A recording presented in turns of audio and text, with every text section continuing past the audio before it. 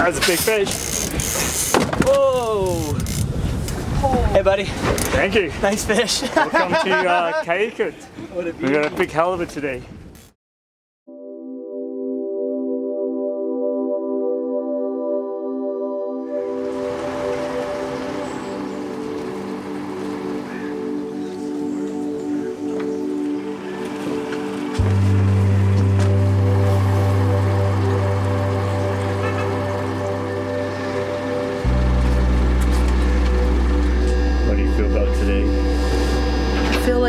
Going to be pretty darn good. So good that we'll just finish early and we'll watch movies.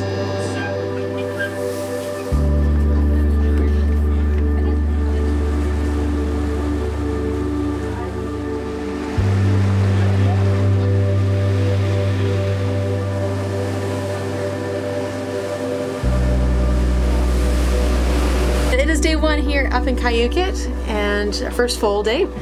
Between the three species that we wanted to target, salmon, halibut, and lingcod, we're actually going to start off with halibut. Now, I want to start with it because I love halibut. It is the best, well, halibut and lingcod, they're the best eating, in my opinion. But why did you want to start with halibut first? just because of the sea conditions. Sea Right? conditions? It's always best in the morning. And then we have tide change coming. Oh, what time does the tide, tide change start? Right, right now. Right now? Yeah. Perfect. So we should have our lines out. Well, we should. why, why are we filming? But, but joking aside, uh, last year when we were up here with you, it was the first time that I've ever caught and released halibut because we were getting so many. So we had lots to choose from. We started off with there were some smaller ones that were biting, and of course, uh, myself and Rob were super excited with that.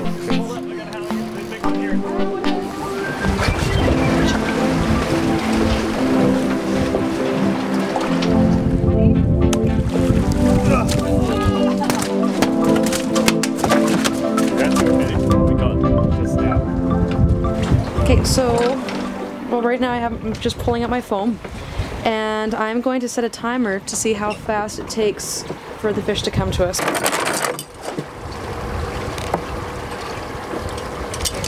It's it's it's way easier to let the fish come to you than you try to go to the fish. So if you if you're if you're out and you get a bite, you know that that fish is still with you all the time, right? If you're drifting, you got to come back to your exact spot and hope the fish is still there. Yeah, so this just works well. We find a find a little high spot.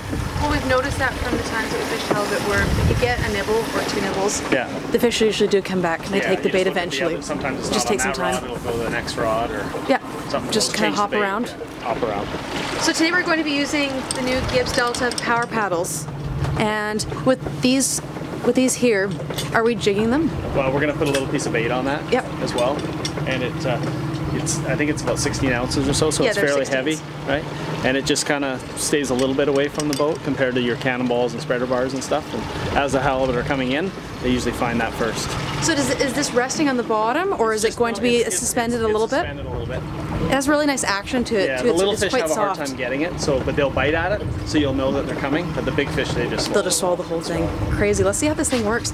So there's two colors actually. Starting off with the orange. Maybe we'll switch it up if well, we we'll need put to. two out. We'll put the glow one out and the orange one and see what's better. Awesome. Brand They new. So good. I don't know if They anybody's look real. Ooh, and they have a really great action to them too. If I was a halibut, I'd bite this. We're fishing really deep. We have the jigs. I see you're attaching some salmon, it looks like, on the hook. Now, is there any preference that the halibut like? Anything that's um, that works better than others? They like meat, but it changes. Sometimes we use the halibut bellies. Sometimes we use herring. Sometimes we use Just salmon. different yeah. different parts of different fish. Yeah, with the fish processing, we get a lot of lot of scraps now, so Yep. works pretty Good good. bait. Yeah, good bait. They're, you know what? They, They're not they, they- no, they eat whatever they can find. They're scavengers, right? So they're like bears. Like bears. Oh, we saw Yeah. some. Bear. We saw a bear yesterday. Yeah. Big black bear. And I, I also saw too. You have a big cooler down there of of the parts, Yeah. and you were talking about making a bait bag. yeah, How does that work? that's just total scraps. You can use anything for that, and that just put it down the bottom, makes a scent trail, and they Lures just them in. just like bears, right? Oh. Right? see They, they come to our kitchen all the time because they smell the the fresh big goods and muffins and stuff like that, and that's what brings the bears to our place. So this is what is going to bring the halibut here. Exactly. Get it right down to the, the water, Yeah. and wait until it gets heavy. You're trying to time him pulling down. Yeah. You pull up, reel. Do a quick like Yeah, but set. don't get the rod up here. There's no leverage on the rod there. There's nothing there. All your leverage is from the water to your shoulder. All right. Basically, it's here, there. Like that? Yeah. Okay. so Not up it's here. Not a Don't- big, huge hook set. Don't do that. I'll probably do that, but I'll try not to. So down to the reel down The to the water. very Yeah. carefully, and then a lift and reel, Reel, and then a lift, again. but nothing too high because then you have no leverage. Got it.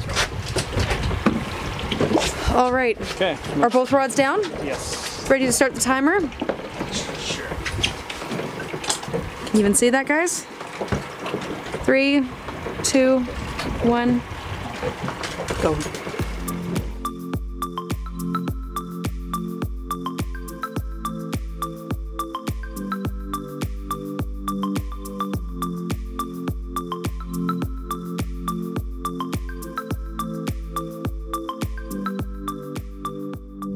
Okay, we are already getting bites, and it has been four minutes and 30 seconds.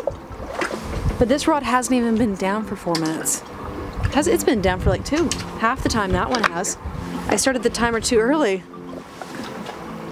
Something's around sniffing though. That's just a small fish. It can't get there. You can't grab it. Yeah. So do you worry if it's a smaller fish though? Do you worry about it just kind of stripping the bait off?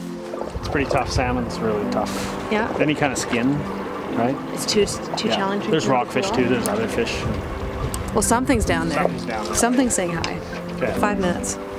Dave, he actually was holding the rod and he could feel something biting, and uh, he was just sitting there waiting. And he was telling us that once you feel a fish bite, if you reel up on it and you lose it, drop your bait right down again, um, because they'll just come back right to feed. So he was holding it. We watched him, and suddenly he did a quick set, reeled down, set again, and he has a halibut on. Paddle tail. Is it the paddle tail? Yep. Awesome. The orange one. And we have orange and green out, right? Orange and glow. Orange and glow. This is orange and glow. It's not a huge fish. It's a halibut. Oh, it's not that small. Oh, it actually, whoa. Jeez, it's a way different than I thought. The water looks, gave it a, an interesting look. So what do we do with it now? Do you want, should we gaff it? You know what? I'm gonna. I'll, I'll take that one. That's perfect size for me. Okay.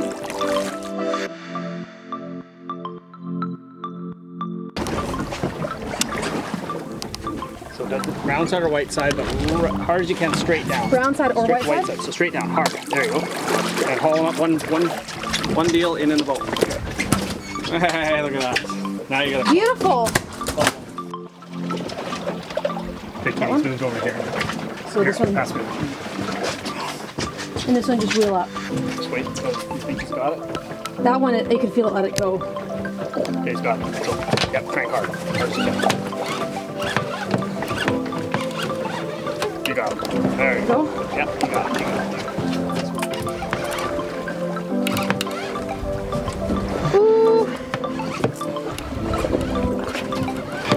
So the fish first hit this rod to my left, and then I didn't feel any weight when Dave told me to lift up on it, and it right away moved over to this one. So they, if you think one's around and you lose it on one rod, just wait for another one because they won't leave your bait alone. How deep are we? Just so I know so I can mentally prepare myself for how long it'll take.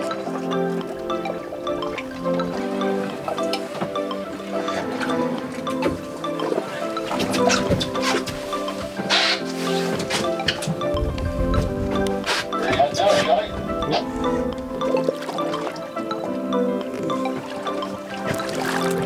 got there? Can we let that one go? We're gonna let that one go.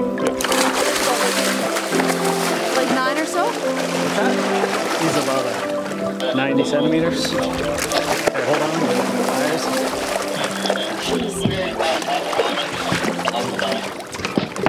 What is that? What? Sunfish. Big one.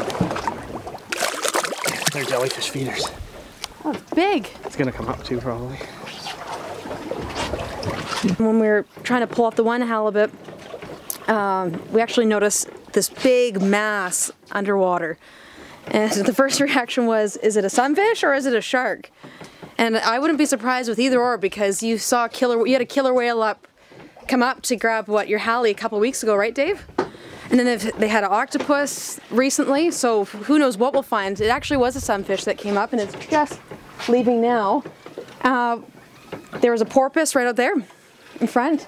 And then Dave saw a humpback whale come up. So, and I can actually hear the, um, what is it called? The blowhole. Yeah, pouring water out. Shooting air. Another one? Yeah. Oh my gosh! It's like a school of them. Miss it? Those things are so, so quick. So, so, now it's going to go somewhere else. Go somewhere else. Which rod do we think it's going to go to? So it's here. Oh, he's back on this one here. Is it? Yeah, got him. Here, Kitty, this is a good one. Take it in the corner there. And I'll get that alley alley over here. That's a heavy one. Oh, jeez. Yeah, I gotta put this away, Rod.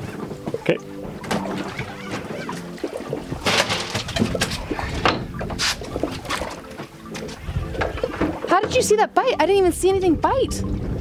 It was so soft. They're not biting like they normally have. Are you sure the drag's not too loose?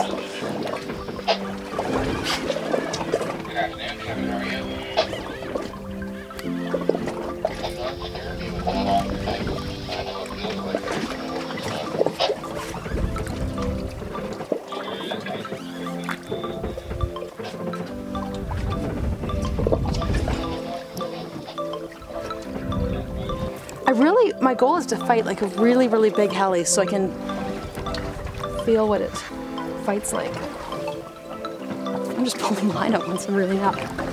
Your back starts to hurt. My back started hurting after like the five reels, first five. It's a nice fish.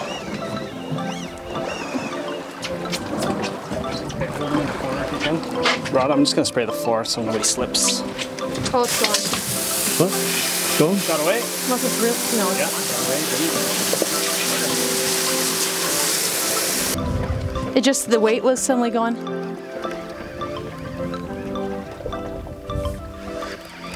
That's gone. Fish. Yeah. Keep reeling? Yeah, and then we're just gonna Just so it's not all the way? We're just gonna keep this one no matter what it is. Well, that's 10 pounds. If it's 10 pounds, I don't want to release it. Am I about now, Dave? What's that? Whereabouts am I now? Uh, 100.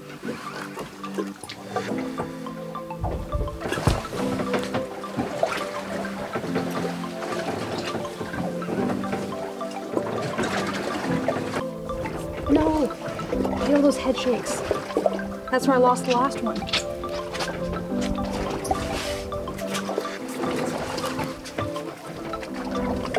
See that white mass yet.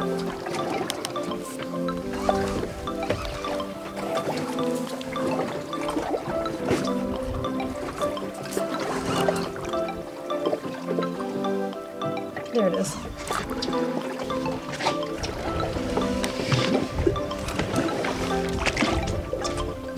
Beautiful fish. Decent.